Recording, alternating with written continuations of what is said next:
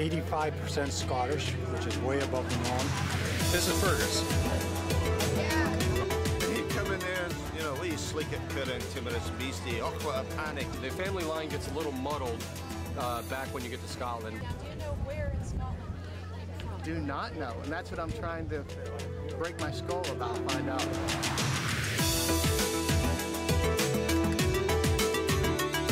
Behind me, you can see the Clyde River. It flows west and out to the Atlantic Ocean.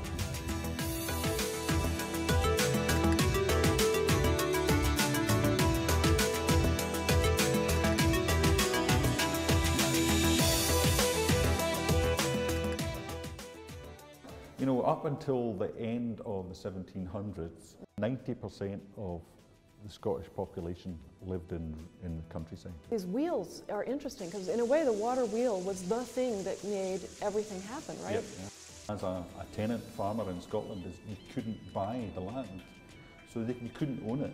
So it's not, you could never have anything to pass on to your, you know, the, the children. In the United States, Alexandria, Virginia was a major seaport. Now, William Gregory, he is sent here um, to be an apprentice. He came to Alexandria to advance the family fortune. There was a huge fire in Alexandria in 1827.